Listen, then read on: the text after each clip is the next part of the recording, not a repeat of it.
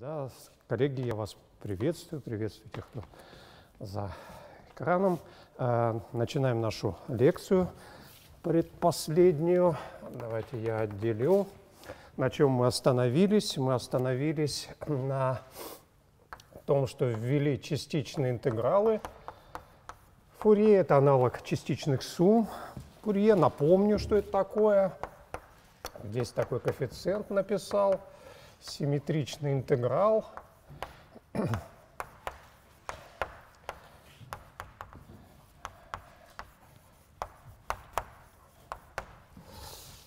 Коллеги, так? Отреагируйте, все было. Ну что, а теперь расписывая преобразование Фурье, мы начали с вами преобразование. Ну, давайте я напомню. А по определению здесь точностью до коэффициента опять будет интеграл. Коэффициент идет сюда.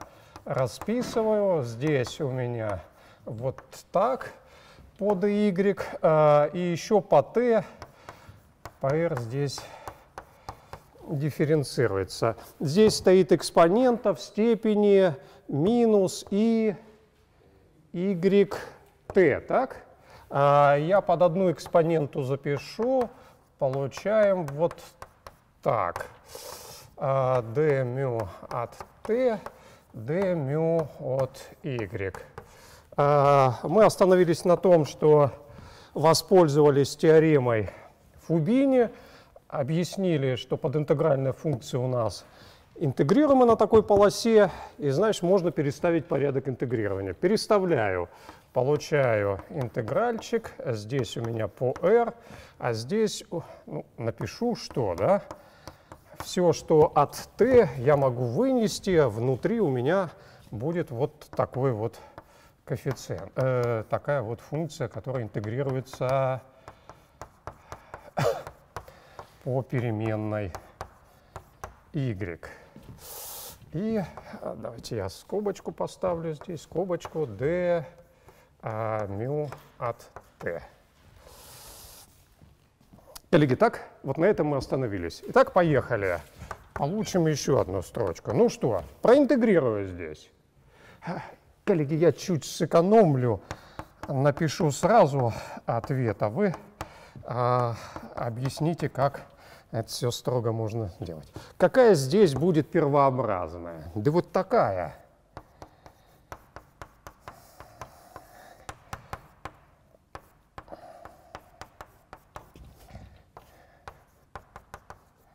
Здесь подстановка.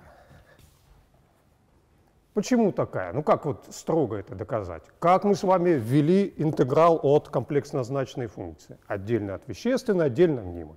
Ну распишите и убедитесь, что это действительно первообразный для соответствующих, э, как сказать, вещественная часть этой функции есть первообразная для вещественной части вот этой функции. Договорились? Сделайте сами это вроде простое упражнение, а я начну подставлять. Итак, коллеги, что у меня здесь будет? У меня будет следующее.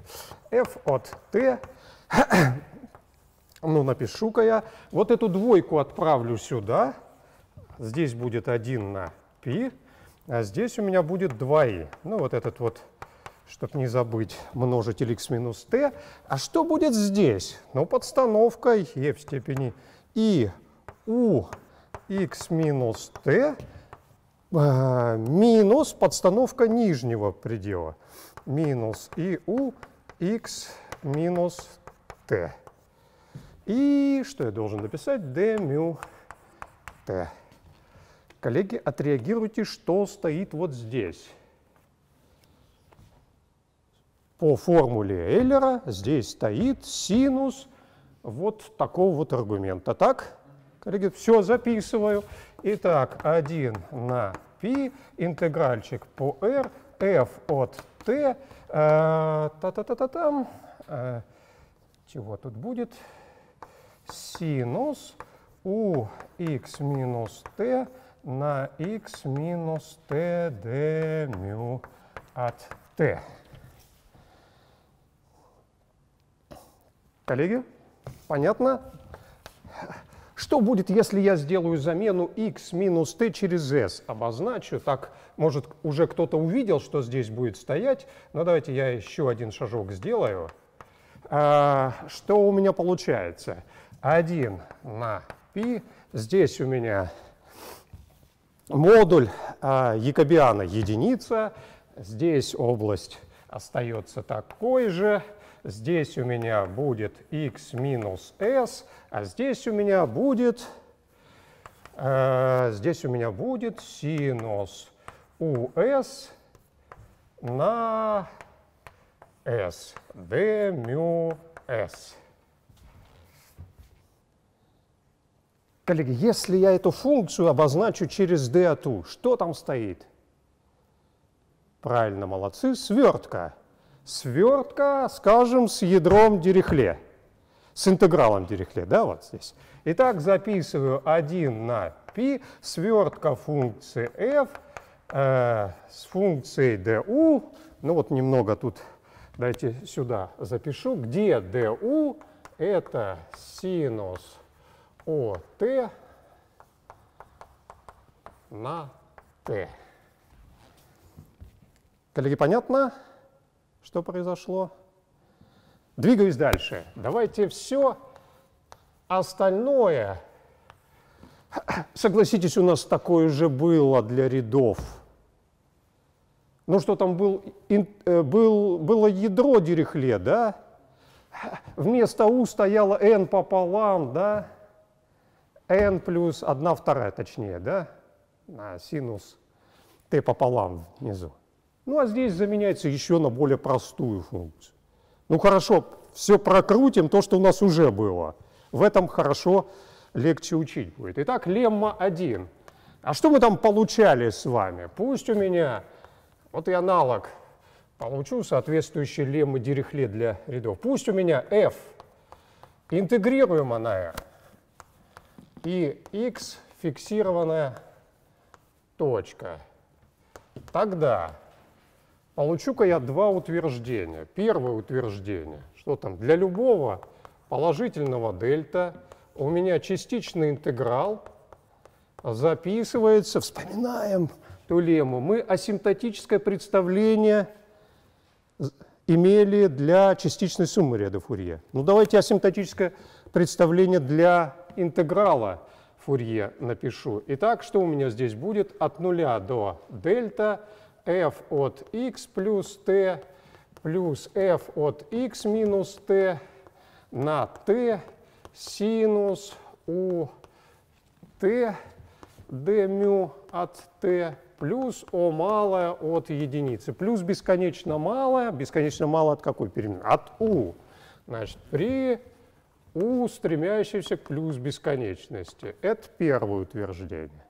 А второе утверждение – было такое критерий сходимости ряда Фурье. Давайте критерий сходимости интеграла Фурье. Значит, э, частичные интегралы э, сходятся к числу s тогда и только тогда, когда найдется положительная дельта, что предел при u, к плюс бесконечности вот таких интегралов – f от x плюс t плюс f от x минус t на t синус у t d μ от t равен нулю. Ну что, коллеги, а, можно сказать очевидно, да, повторите рассуждение. Ну давайте вместе прокрутим, чтобы показать, что действительно это так. Как показать мне первое утверждение? Ну, во-первых, воспользуемся тем, что имею. Имею вот такое представление, да, интегральное. А, значит, используя равенство, используя равенство, ну, уже давайте сокращу, а, вот такое, используя и четность функции du имеем. Коллеги, ну помогите, что имеем? А, давайте я вот потратил. Вот такой интегральчик, да, имеем. Что будет? Э, ну, понятно, я хочу разбить его на область интегрирования на два луча, так? От минус бесконечности до чего? До нуля и от нуля до плюс бесконечности. И в том, что от минус бесконечности до нуля сделаю замену s на минус t. Тогда у меня будет опять э, э, вот такой вот интегральчик от бесконечности. А тут что будет? Ну, с одной стороны стояла вот такая вот вещь, а с другой будет стоять с заменой s на минус t, да? Ну, согласитесь, это в точности то, что здесь написано. Итак, f от x плюс t плюс f от x минус t на t.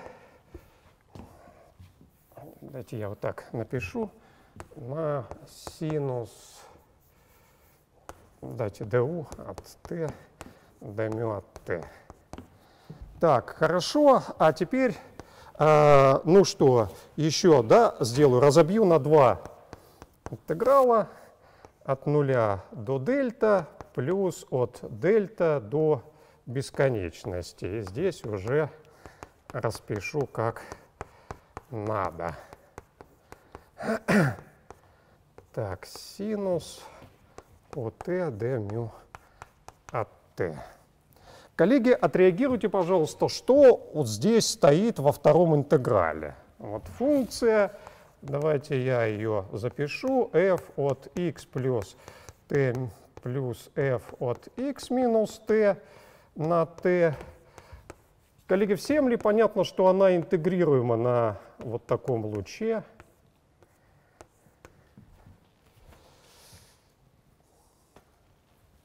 Что у нас по условию? Есть интегрируемость на r, значит, вот это интегрируемая функция. Согласны, коллеги? В интеграле делаем там замены, сводим. Так? Ребята, это видно? А 1 на t — это непрерывная ограниченная функция на луче.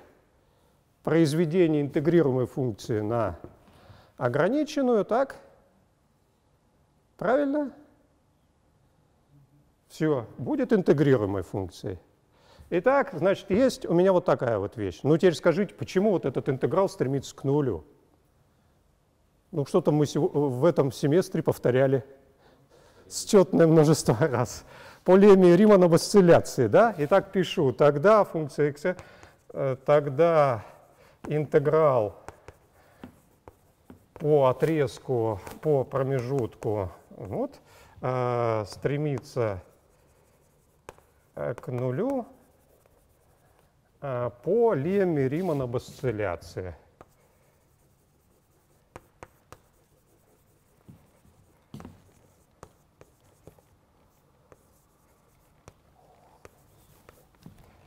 Ну, я запишу, что доказывает пункт 1. Что доказывает пункт 1? Коллеги, все понятно? Хорошо, ну продолжаем разговор. Давайте докажем пункт 2. Значит, имеем. Имеем. Ну, распишу-ка я а, вот такой вот интегральчик. Вы согласитесь, сюда просто... Я правильно хоть записал? Нет, неправильно. Я думаю, что-то тут минус 2s. А то тут s есть, а здесь нету s. Напишите, пожалуйста. Итак, коллеги, что мы здесь добавили? Вот такой вот интегральчик. Давайте отдельно его поизучаем. Значит, э, ну, от нуля до дельта э, синус у t на t d. Ну, пока римановский рассмотрю интеграл скажем. Коллеги, всем понятно, это то, что мы добавили. Ну, вычли точнее. Итак, поехали. А, ну, покажем, что это на самом деле стремится к нулю, и тогда все будет сделано. А, хорошо, что напрашивается? Напрашивается сделать замену. Тут u напишу, тут u, и u от u на t через новую да, переменную запишу. Итак, а, давайте тау ут. Делаю замену в несобственном интеграле, э, сейчас в определенном интеграле, тогда я получаю 2s на π. Здесь у меня будет, ну вы мне сейчас подскажете, тау, тау d тау, 0 перейдет в 0, а э, t равное дельта перейдет, да, дельта O. Итак, скажите мне, пожалуйста, что будет, если я устремлю, дельта положительная, устремлю U к бесконечности, к плюс бесконечности. Куда это все будет стремиться? Э, к π пополам, так? Согласитесь, это у нас стремится при u, стремящемся к плюс бесконечности, к 2s на π интегральчик. Вот такой вот. Коллеги, так? Этот интеграл мы считали. π пополам его значение, π пополам сокращается к s. Так? Тогда имеем, тогда Тогда я могу записать следующее. А, вот у меня число s есть. А, я его могу переписать так. А, вот так могу переписать. Вот это число s. Так, здесь записать уже лебеговский интеграл. У нас функция интегрируема по Риману, значит, по Лебегу на этом отрезке. Я могу здесь так записать. Вы согласны? с точностью, куда вот все это стремится, как мы, да, к s, значит, с точностью до бесконечно мало это, правильно? Значит, я здесь кусочек запишу вот такой, при u стремящемся к бесконечности. Итак, коллеги, давайте с вами посмотрим, что имеем. С одной стороны, имеем вот такое представление, а с другой стороны, имеем представление, которое получили. Так? Вычитаем из левой части s, из правой части тот вот интегральчик. Вы согласитесь, получаем ровно такое вот утверждение. Ну, то есть SU минус S будет иметь предел равный нулю, тогда и только тогда, когда вот этот вот предел равен нулю. Все, увидели, коллеги? Понятно? Давайте я уже сокращу, так как мы уже это расписывали, напишу э, что влечет э, пункт 2. Ну, поздравляю, коллеги, такой вот, э, такое представление у нас получено. Ну, а теперь э, к теореме. К теореме перехожу. Теорема, судя по всему, 3. А, достаточные условия сходимости да, интеграла.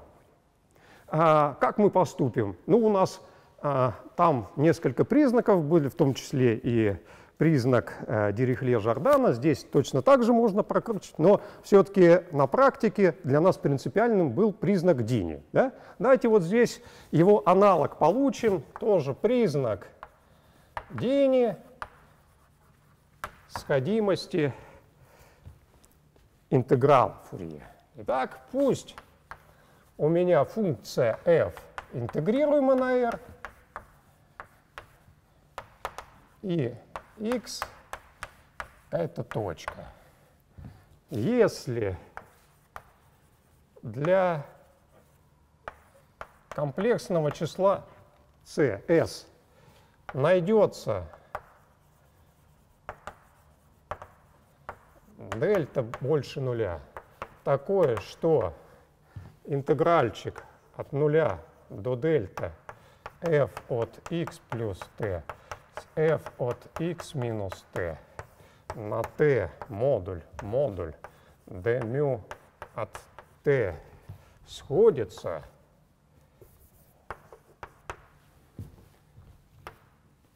то частичные интегралы Фурье сходятся к числу s. То есть Интеграл Фурье в точке x совпадает с s.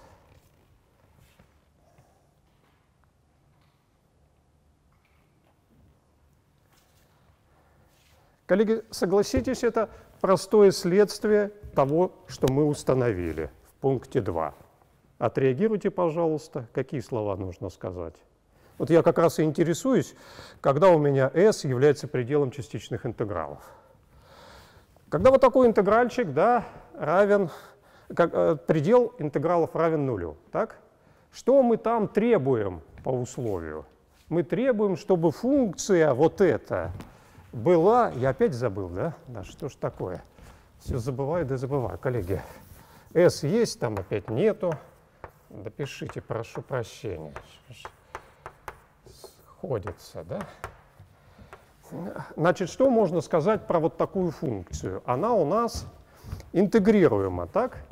Интегрируема, тогда нужно что сказать опять? Лемма Римана осцилляции работает, и предел таких интегралов равен нулю. Правильно, коллеги? Что означает сходимость частичных интегралов? Скажите, все понятно? Все, отлично. Вот надеюсь, убедил, что удачный, удачное разбиение э, темы, да, там, э, ряды Фурье позволило нам теперь, особо не вдаваясь в детали, получить аналогичный результат для интеграла Фурье. Коллеги, понятно? Все замечательно. А, тогда ну, прокомментировали доказательства. Давайте двигаться дальше. Определение. А, пусть у меня функция f, как говорят, локально интегрируемая. Это что означает? Она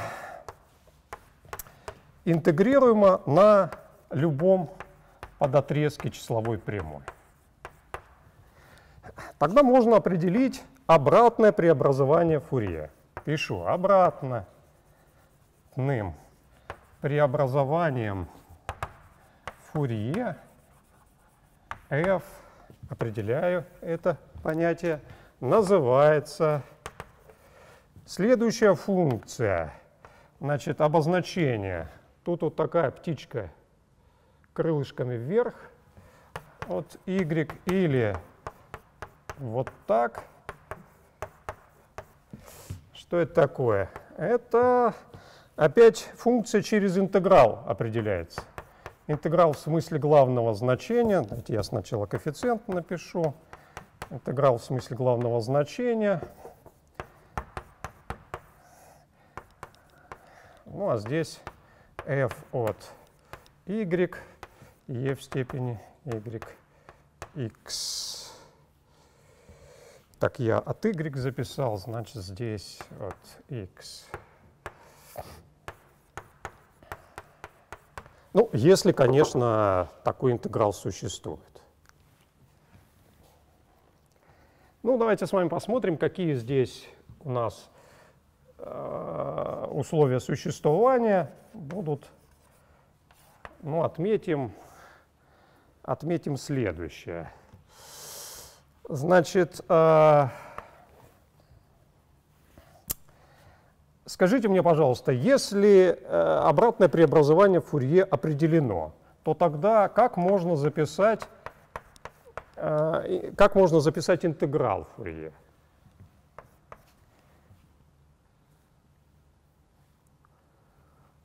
Ну, вы согласитесь, интеграл Фурье, когда я вот здесь пишу преобразование Фурье. Ну, а с точки зрения наших обозначений, это что будет? Вот так, да? от преобразования Фурье надо взять обратное преобразование Фурье. Правильно, коллеги?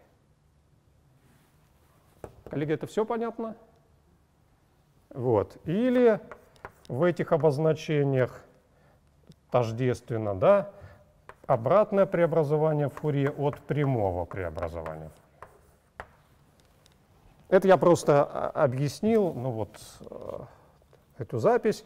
Теперь, да, то, что говорил, давайте посмотрим, какие достаточные условия существования. Ну, самое простое достаточное условие, если f у нас оказалась интегрируемой функцией, то вот этот vp-интеграл существует в обычном смысле, да, как интеграл Лебега. И тогда скажите, здесь написано очень похожая вещь на преобразование Фурье. Ну, как похожая? Кто объяснит? Ну, тут минус, да, стоял. Ну, значит, надо сказать, что э, преобразование Фурье обратное от y, это есть прямое от минус y. Согласны, коллеги? Коллеги, отреагируйте, все понятно? Хорошо. Ну все, теперь скажите мне, пожалуйста, ох, как можно переписать следствие, вот сейчас я, хоть его еще не получил, сейчас получим, да, следствие из признака Дини. Формула, я пытался здесь объяснить, почему название у этого следствия, формула обращения.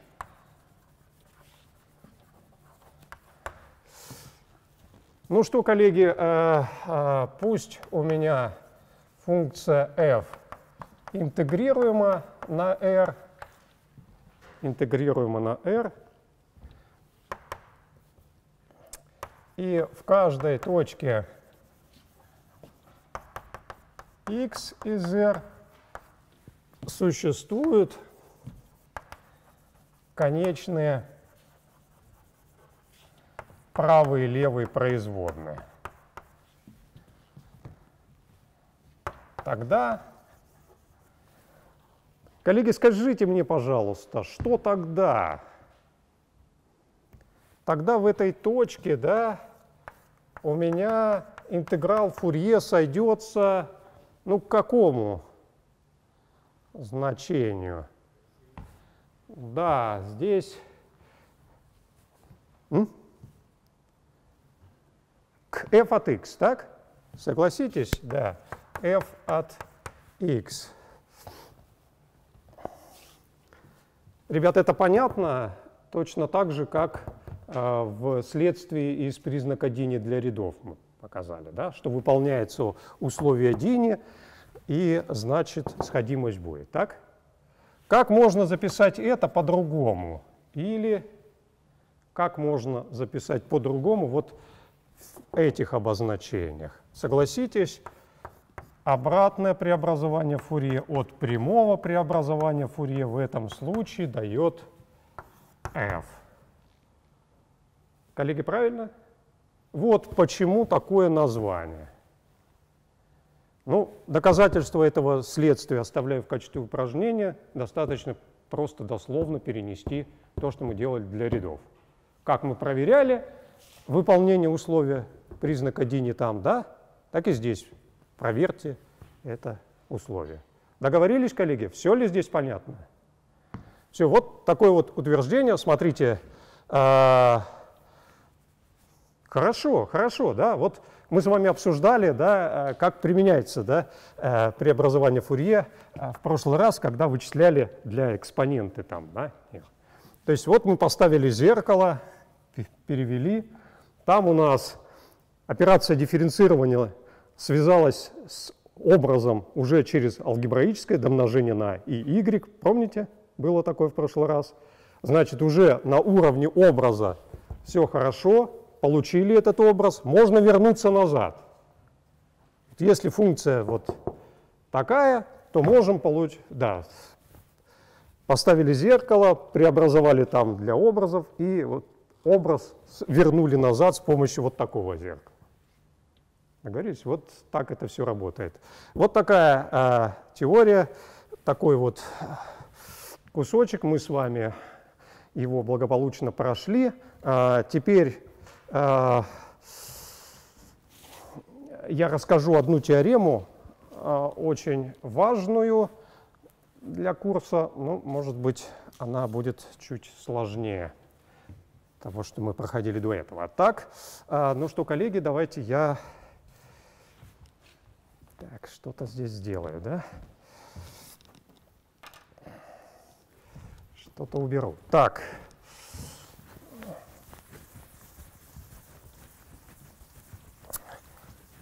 Так, коллеги.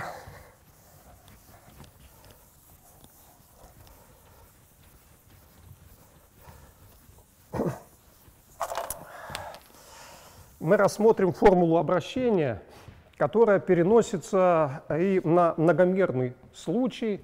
Э, я вот как-то упомянул, что можно не ограничиваться одномерным случаем числовой прямой можно рассматривать в РД. Но вот это доказательство сугубо одномерное, а вот надо иметь и для более общей ситуации формулу обращения. Ну вот следующая теорема даст эту формулу обращения. А, так, ну не знаю. Давайте я это тоже сотру. Итак, а, прежде всего такую вот лемму рассмотрим. А лемма у нас, по-моему, не... Так, сейчас... Вот, да, была вторая, да, лемма. Итак, э,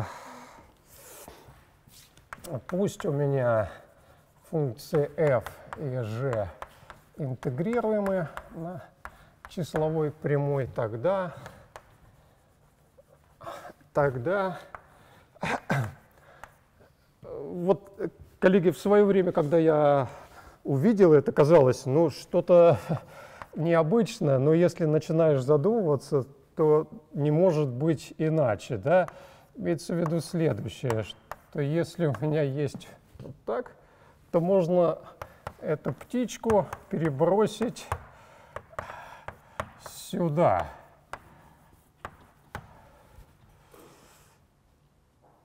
Так вот спросить, как-то совсем не очевидно. Ну вот сейчас давайте начнем рассуждать и поймем, что все работает. Коллеги, пока ясно, что написано? Э, отреагируйте, пожалуйста, почему оба интеграла существуют?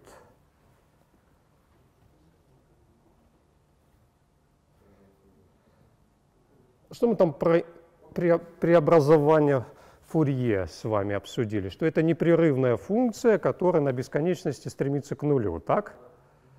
Я, кстати, забыл там упомянуть, как правильно сказали, почему же у нас преобразование Фурье интегрируемой функции на бесконечность стремится к нулю. Ну, надо опять сказать по леме Риман об осцилляции. Ну, я забыл это словосочетание упомянуть, так что э, будет пробел у вас в лекциях. Так, коллеги, ну а здесь, раз это так, то получается преобразование Фурье – это ограниченные функции на R, так? Ну, значит, произведение интегрируемое на ограниченную, снова интегрируемая функция. Интегралы существует, нам надо доказать равенство. Когда надо что-то переставлять, как нам везет, и удачно теоремы мы серьезные. Ну, если надо что-то переставлять в интегралах, ну, чего там? Два варианта, либо тоннели, либо в Фубине. Ну, вот, не применить ли нам это? Давайте я напишу э, доказательство. Интегрируемость э, функции, что тут будет стоять? Будет стоять вот преобразов... вот такая вот вещь. Вот я запишу сразу модуль. Это у меня по модулю будет вот так. Значит, интегрируемость вот такой функции на R2 следует из условия какого? Из условия интегрируемости вот этих вот функций а, по теореме Тоннелли. Согласитесь? Хочу интегральчик сюда, двойной навесить. Это все равно, что повторный интеграл сюда, так? Произведение двух интегралов по R от f даже. Все, по теореме Тоннелли. Написали? По теореме Тоннелли. Ну а теперь э, это уже дает нам знака переменный интеграл, значит теорема Фубини. Тогда по теореме Фубини а, выполнено следующее. Ну давайте я а, левую часть распишу. Ну, у меня записана такая вот вещь. Интегральчик опять r, f от y, e в степени минус и y x. Я здесь давайте минус поставлю. Чем тут минус поставлю? Здесь же минус. Э, d μ y. Это я вот это расписал. Скобку закрыл. g от x. Э, d μ от x. Это я расписал левую часть. Ну а теперь что мы имеем? Раз это у меня произведение интегрируемо, то все это равно, этот повторный интеграл равен двойному интегралу по R2 от вот такой функции без модуля. Так, коллеги? А значит, его можно расписать еще и в другом порядке. Пишу в другом порядке. Э, что у меня здесь будет? Ну, меняю x и y местами. Все, что от x идет в одну сторону, а что там идет в одну сторону? Ну, g от x теперь будет. Экспонента у нас симметрично относительно вот, идет сюда. Это d μ x. И внешнее интегрирование d μ y. Коллеги, отреагируйте тут. Понятно? Ребят? Все, ну а раз это так, то э, это есть не что иное, как запись такого равенства. Вот. Ну вот, в свое время я удивился, как может быть иначе. Ну вот так. М? Я F, да, F забыл. Ну, вот видите, F я забыл, да. Ну, запишу куда-нибудь. Давайте сюда, да, запишу. F. F от Y, да. Вот такая вот теорема, такое вот условие. А, ну а теперь ключевой момент сегодняшней лекции. Ключевой момент сегодняшней лекции – теорема. Теорема 4, ну, назовем ее тоже формула обращения,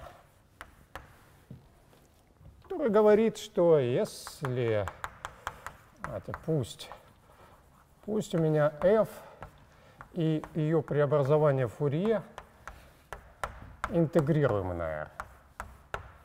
Тогда, тогда, тогда справедливо следующее равенство. Значит,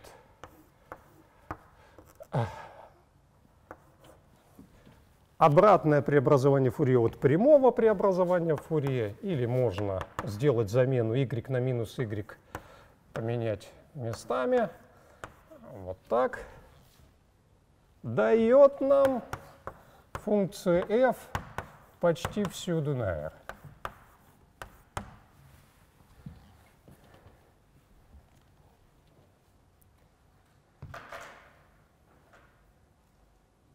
Ох, оказывается, при таком дополнительном условии, если мы точно знаем, что преобразование Фурье интегрируемо, функция работает Э, формула работает в самом что ни на есть хорошем виде, да? возвращает назад. Давайте с вами посмотрим, как доказываться будет это.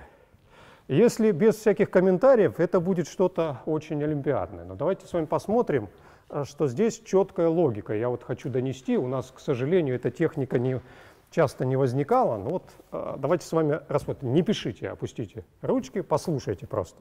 Надо применить вот эту вот формулу. Как будем применять?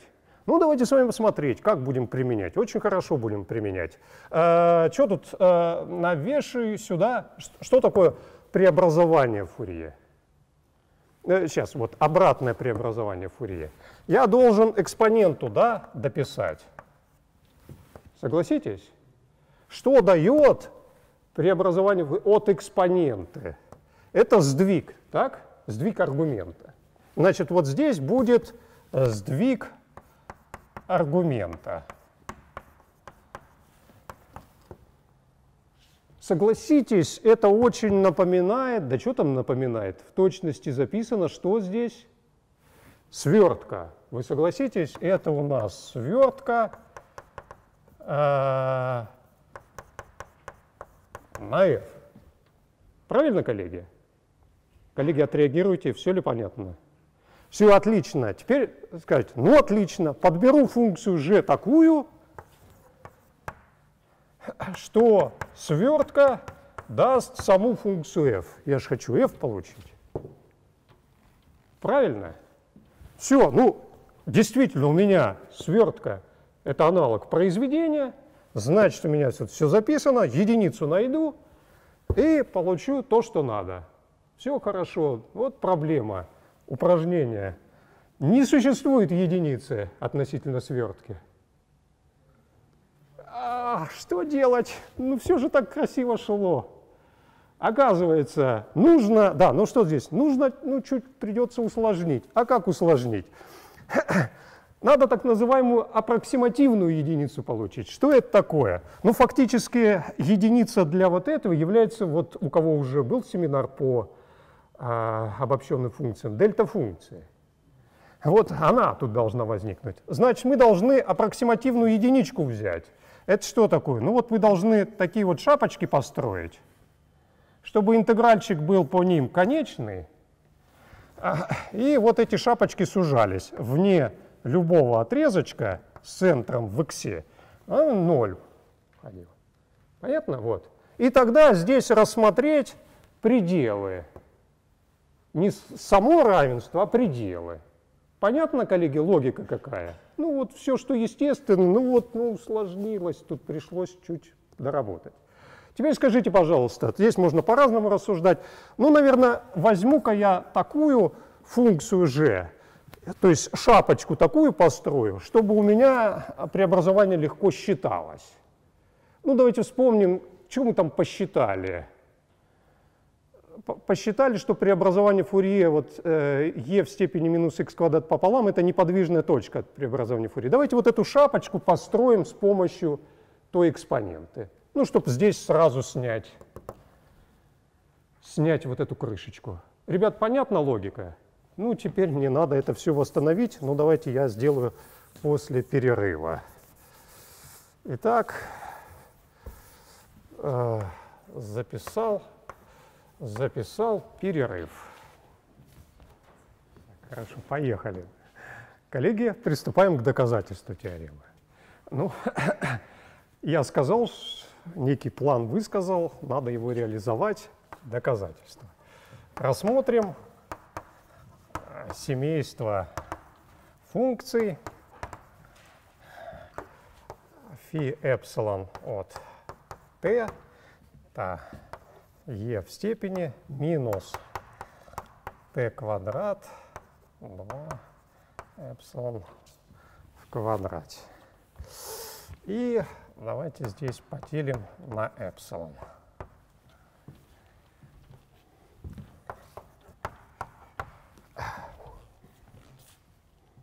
Чем замечательны эти функции, давайте с вами определим. Значит, тогда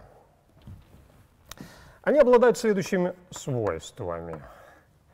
Что будет, если я рассмотрю интегральчик?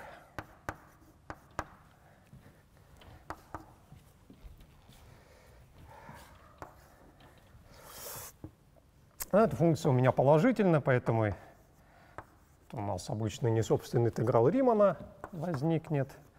Перепишу-ка я.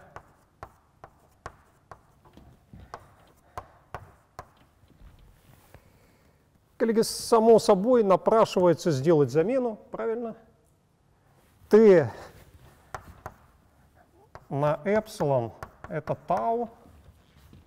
И тогда у меня будет здесь 1 на эпсилон идет под дифференциал, будет d тау. Здесь у меня будет e в степени минус э, тау в квадрате пополам d тау Интеграл Эйлера Пуассона, да, ну тут надо еще учесть вот эту двоечку корень из двух π.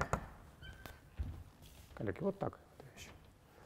Итак, смотрите, интеграл, как я и обещал, площадь под графиком всегда постоянна. Дальше, что нам свойство нужно было, какой-то аппроксимативной единички? Надо, чтобы вот такой вот интегральчик для любого θ больше нуля Э, модуль t больше э, либо равно это э, ну, фи эпсилон t d мю t стремился к нулю с ростом э, эпсилон куда-то там. Ну, давайте с вами посмотрим, да, вот куда это будет все стремиться. А, ну, доказательства. Давайте я здесь посмотрю. А, итак, вот распишу наш интегральчик. Опять в силу четности я здесь удвою, рассмотрю не собственный интеграл а Римана от это до плюс бесконечности, а, ну, 1 на эпсилон e в степени минус t квадрат 2 эпсилон в квадрате dt. Сделаю такую же замену, получаю здесь e в степени минус тау в квадрате пополам d тау, а, а здесь будет бесконечность. А куда у меня это перейдет? Э, это деленное на эпсилон, так? Я по-человечески запишу. Вот так. Коллеги, все понятно? Скажите мне, пожалуйста, если я устремлю эпсилон к нулю справа, куда вот это у меня будет стремиться?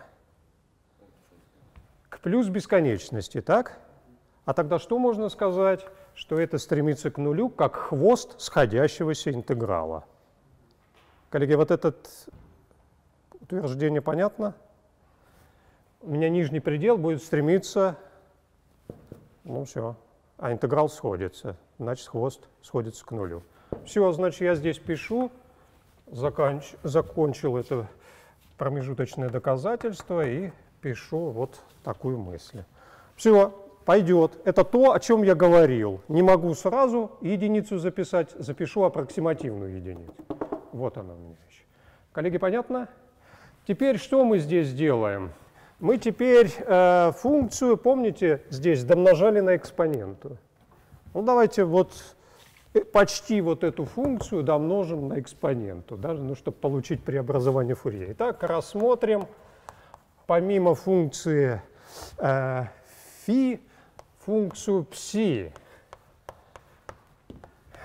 Так, что это будет за функция? Вот такая, e в степени минус t квадрат эпсилон в квадрате пополам, теперь вот сюда эпсилон, ну, на e в степени и x t. x зафиксировал. Коллеги, все пока ясно? А, давайте посчитаем. Значит, я вот сюда, это будет в качестве g у меня выступать, а дальше я должен что посчитать? Преобразование Фурье. Вот давайте с вами посмотрим, ради чего вот это вот домножение и было. Значит, а, считаем преобразование Фурье. Тогда, тогда преобразование Фурье а, ну, от y, да, а, функция от y. Как будет выглядеть? Помогите. 1 на корень из 2 π. Здесь у нас что будет? Э, по r интегральчик e в степени минус. Вот это вот вещь. Так, коллеги? На, ну, по t, да, я буду дифференцировать, э, интегрировать, значит, что мне здесь нужно добавить? Добавлю минус и y так? Коллеги, отреагируйте. Все понятно? Все, значит, вот эти две экспоненты я объединяю, получаю там парам пам Так, чего тут? x минус y, t, да? Вот так. Все хорошо. d мю от t. Коллеги, ну вот следите, чтобы не наврал, вроде так. А, а, ну, в принципе, все. Коллеги, давайте с вами посмотрим, а, что будет, если я сделаю замену тау равняется t эпсилон.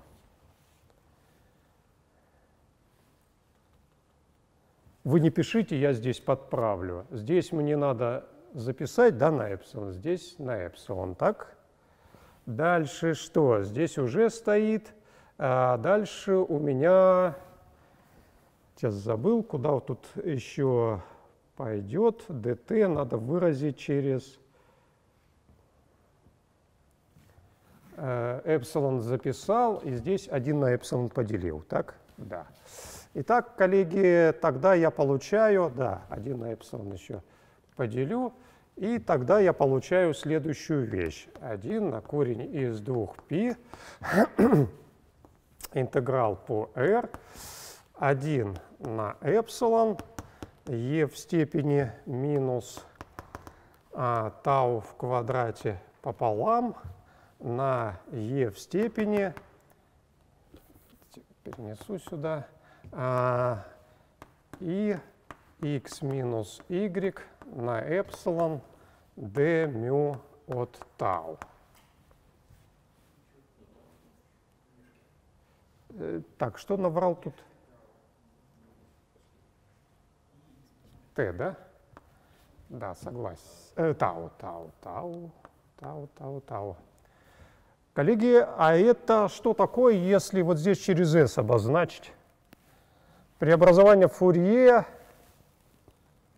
Преобразование Фурье чего?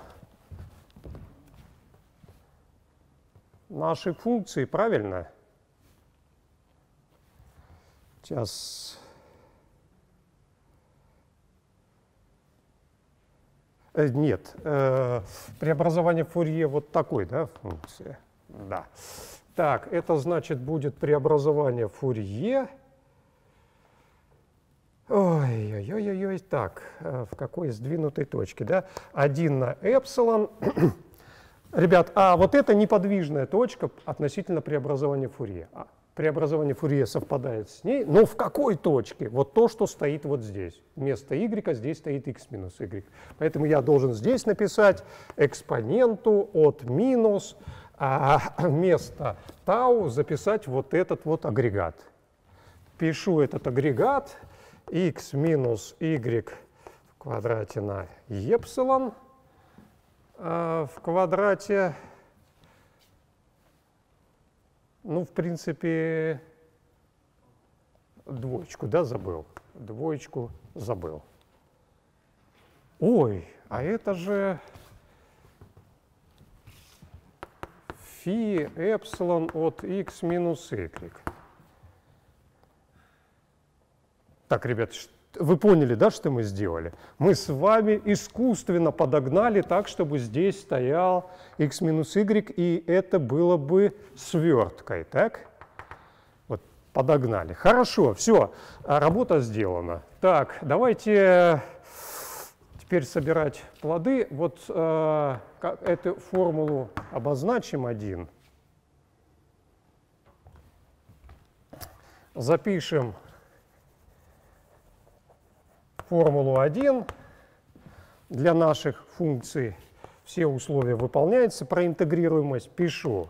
Интеграл от f с крышечкой на функцию какую? На функцию, ну помогите,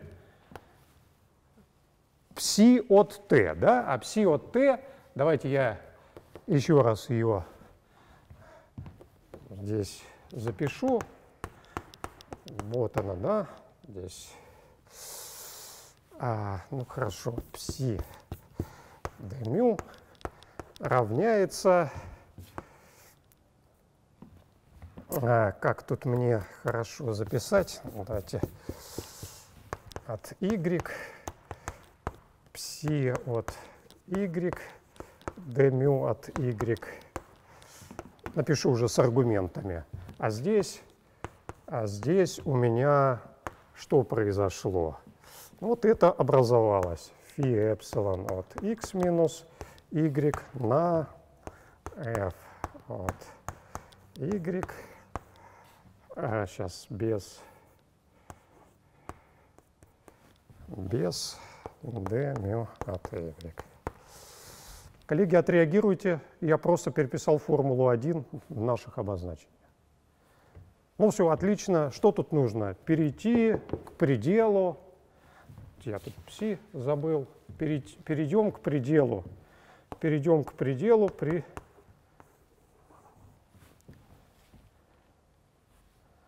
Так, отлично. Ну все, Михаил, покажем коллегам. Значит, вот у нас эта формула, да, и теперь разбираем левую часть. Так, давайте я это уберу. И что у меня будет в левой части?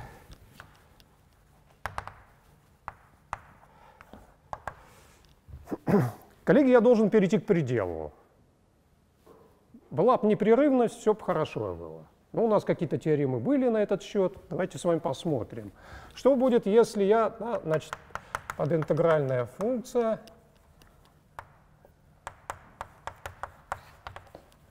как у меня устроена? Она устроена вот таким вот образом.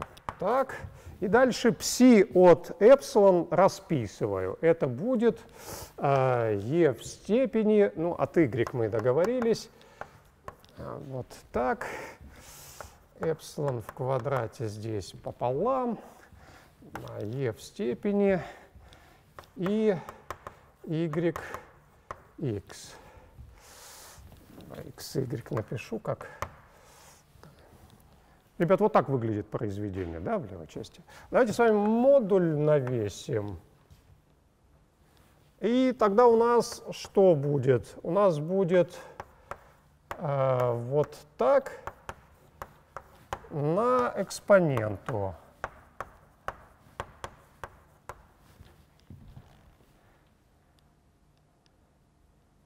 Так, коллеги? Эта функция четная, максимум у нее в нуле, да, такая она. А в нуле чему тут равно? Единичке, так? Значит, это все не превосходит модуля. Так, коллеги? Все отлично. Ох, у меня подинтегральная функция мажорируется интегрируемой функцией не зависящий от параметра. Параметр здесь x. Тогда что мы имеем? Непрерывность. Э, сейчас, параметр эпсилон, да? Я же по эпсилон перехожу к пределу. Параметр эпсилон. От эпсилон не зависит от этого. Значит, у меня по теореме 1 из параграфа интеграла, зависящий от параметра, функция, э, сам интеграл непрерывная функция. И значит, я могу перейти к пределу здесь. Это все равно, что перейти к пределу по эпсилон внутри. Коллеги, вот это понятно? Пишу, тогда, тогда по теореме о непрерывности интеграла с параметром.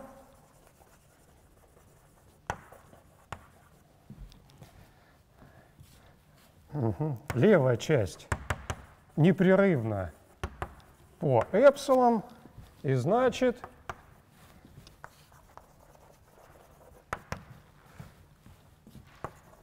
при эпсилон, стреми, стремящемся к нулю справа, стремится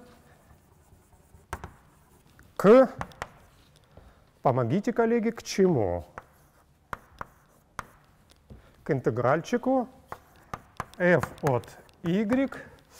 Сюда перехожу к пределу при эпсилон, стремящемся к нулю, получаю единичку, так, коллеги? Единичку получаю, получаю вот такую вот вещь.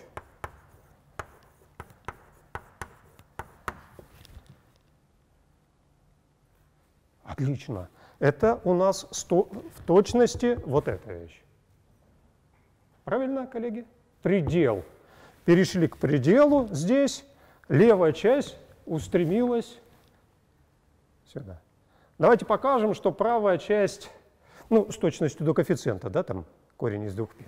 Покажем, что с точностью до коэффициента правая часть стремится. Отлично, продолжаем разговор. правая часть. Итак, правая часть выглядит вот так. интегральчик от x минус y, а, f от y, dμ от y, это есть с точностью, нет, без точности, э, свертка с f. Покажем, что свертка f, ну, как я и обещал, аппроксимативная единица должна, ну что, стремиться к единице. Покажем, что это все стремится к f, но пока в L1.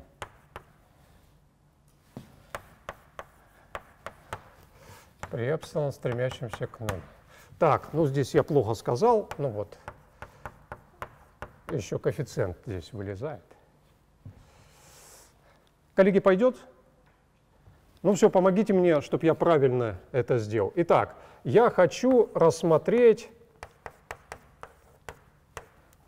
вот такую вот разность. Как функция от x. Навесить норму L1 и расписать. Ну, поехали. Что я здесь имею? Что вот это такое?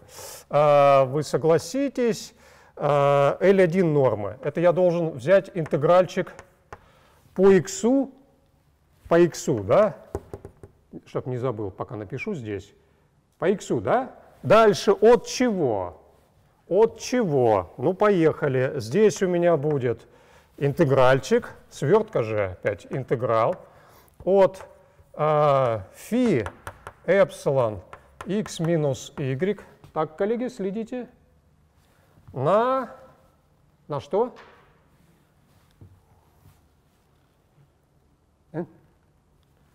Ну, помогите, на f, так? На f от y, d μ от y. Так, записал минус. Э, минус вот этот агрегат. Минус вот этот агрегат.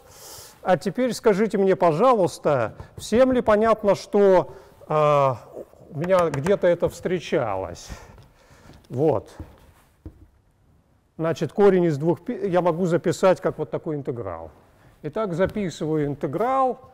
Э, чего тут будет? f от x а здесь будет интеграл по r, а, фи и э, эпсилон. Что тут по y? Ну, давайте по y, да, мю, по y. Коллеги, так, и внешнее по x. Ух, не успеваю ничего так рассказать. Что запланировал? Ну ладно. Коллеги, вот это пока ясно. Скажите мне, пожалуйста, а, как можно здесь переписать? Я хочу под один интеграл записать. Вот мне нужно вот здесь получить э. Могу это сделать? А мы с вами знаем, не помню, обсудили или нет, что э, свертка, она коммутативна. Да? А что это означает? Если вы в этом интеграле сделаете замену x минус y равно t, то тогда у вас x минус t возникнет вот здесь. Всем понятно? То есть вот, о, отлично, значит я могу сделать, ну вот, воспользоваться коммутативностью свертки. Итак, поехали, давайте я уже начну оценивать. Нет, ну давайте еще аккуратно напишу, а то потом будет тяжело понимать, что я здесь сделал. Так, значит, я перекинул сюда. f от x минус y у меня здесь теперь возникло. Минус f от x здесь возникло. Это все на фи эпсилон от y. d μ от y. Модуль поставил от x. Ну вот это хорошо. Ну вот это вот в самый раз. Коллеги, Отреагируйте, все понятно? Ну, поехали. Вы пишите, я исправляю. Модуль интеграла не превосходит интеграл от модуля. Перебросил сюда. Ну, функция положительная, поэтому можно ограничиться вот так. Коллеги, как?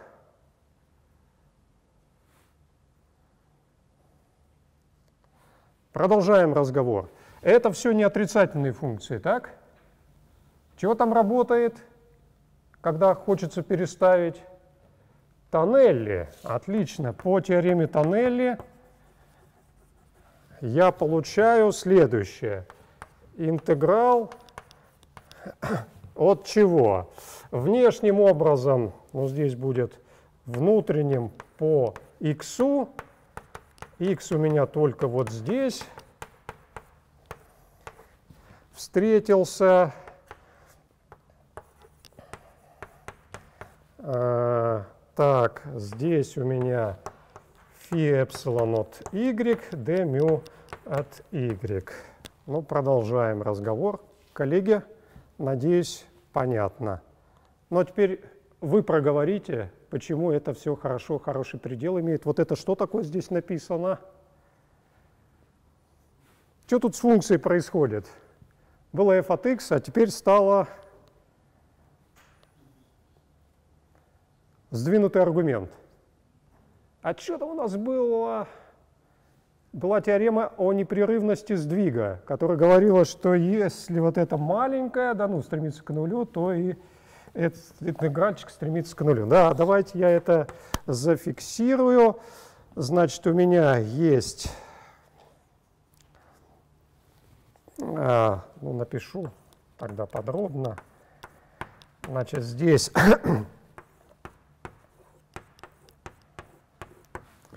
Здесь L1 норма сдвига, вот она на фи эпсилон от y на, на μ от y.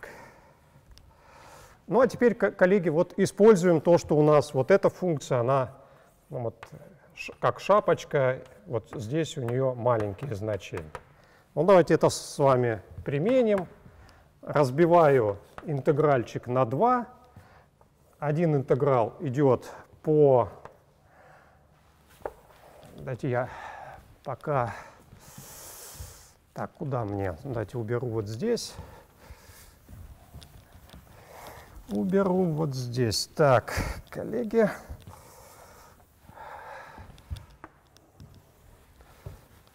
А теперь здесь допишу. Ну что у меня, непрерывность сдвига есть? Зафиксирую какое-то дельта больше нуля, тогда по непрерывности а, сдвига найдется положительное это больше нуля, что, что fy минус f1 меньше дельта при э, модуль y меньше это. Тогда я могу вот этот равенство переписать теперь два интеграла. Интеграл 1 будет браться по y меньше это. Давайте так напишу плюс здесь y больше это...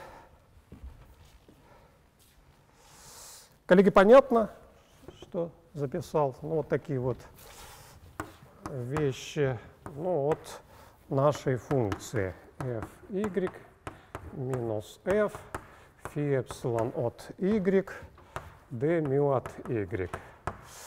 Продолжаем разговор. Коллеги, ну, помогите мне теперь справиться с доказательством что про первый интеграл можем сказать? Там маленькое вот это приращение в силу непрерывности сдвига не превосходит дельта. Значит, дельта здесь, дельта выношу, интегрируется вот эта вот функция.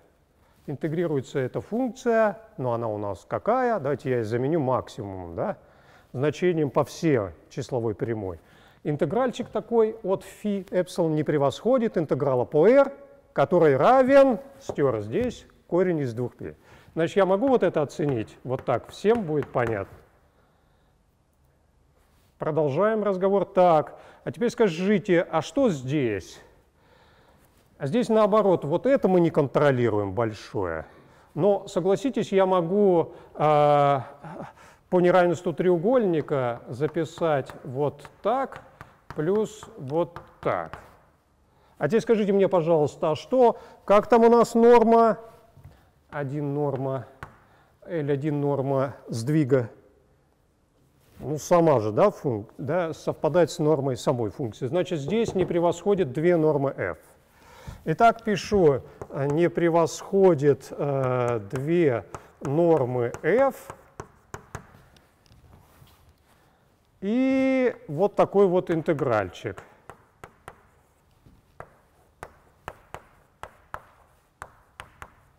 А про этот интегральчик мы с вами рассмотрели его отдельно свойства какие, куда он там стремится. Ну, у шапочки вот эти э, все ближе и ближе к нулю, да, прижимаются хвосты. Это все стремится к нулю, когда эпсилон стремится к нулю. Значит, это все стремится к нулю э, при эпсилон, стремящемся к нулю справа. И значит, я могу сказать, что это у меня не превосходит, ну, скажем, чего, помогите? Ну, дельта не превосходит, да? Значит, я могу сказать, что это все не превосходит вот так, плюс 2, две нормы f1.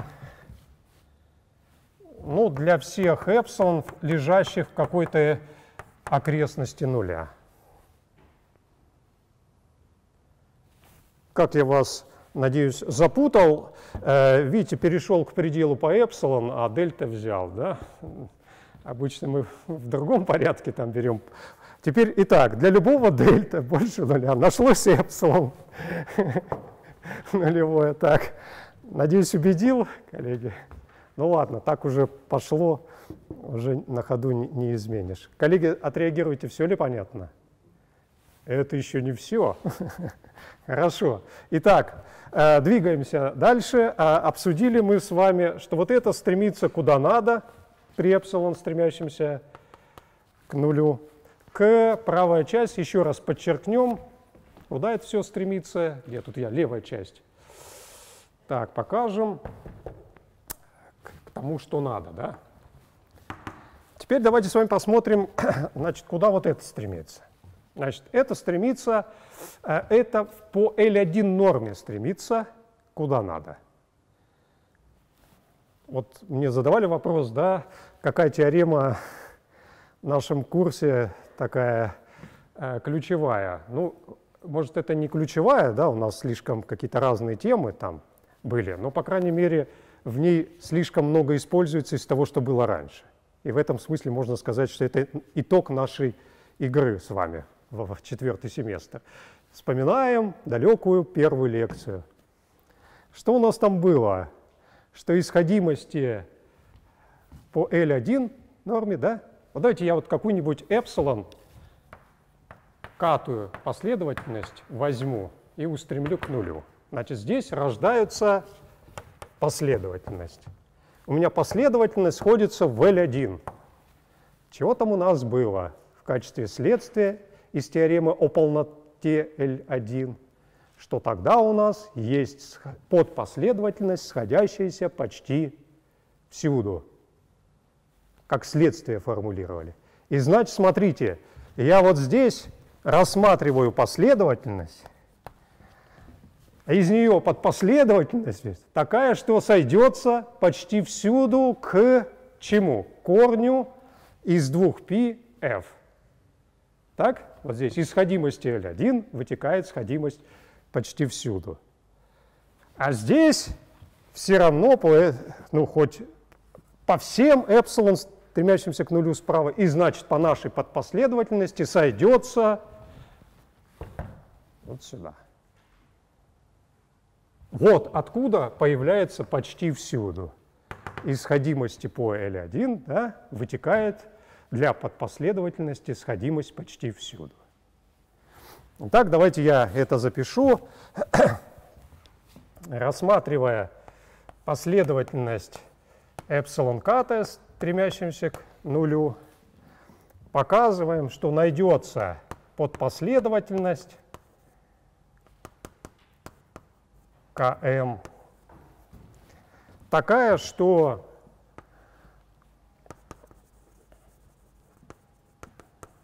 такая, что а, правая часть стремится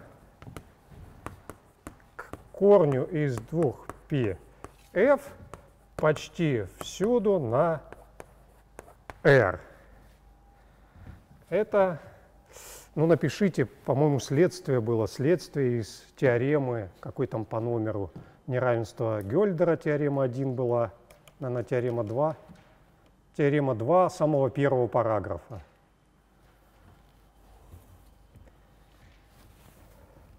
Коллеги, все здесь понятно? Все. Ну а по этой же подпоследовательности левая часть стремится к тому, что надо. Доказали формулу. Вот эта формула получается, если замену y на минус y сделать. Вот. Коллеги, вот такая теорема. А, да. Так, хотел обобщенные функции сегодня наполовину рассказать, но ладно, учесть еще, что за мной долг дифференцирования, да, слишком много долгов, так, хорошо. А, коллеги, ну вы не переживайте, а, в экзаменационную программу войдет далеко не все, что я читал, все будет по-честному. А, ну вот, например, вот эта теорема для тех, кто пойдет к лектору с доказательством, остальные, остальные достаточно формулировки. Так, договорились, ну еще много чего там поубираю, так что все будет разумно. А, вот. Э, Михаил, я давайте тогда еще на камеру скажу. А, надо определить, да, уже определил срок досрочного экзамена, 23 число, поэтому кто желает досрочно, ну, никого не призываю, но так, если есть какие-то обстоятельства, которые вам позволят хорошо приготовиться, это можно сделать. Э, значит, э, для этого надо написать мне на почту о своем желании сдавать, и я тогда э, попрошу там порешать несколько задач из списка, чтобы на самом экзамене уже не тратить время на задачи дополнительные. Договорились? Вот такой комментарий. Прошу, надеюсь, все, кто услышал, э, все, кто желает, услышали меня. Всем спасибо, рад был вас повидать. До следующей встречи. Спасибо, да. Спасибо, да.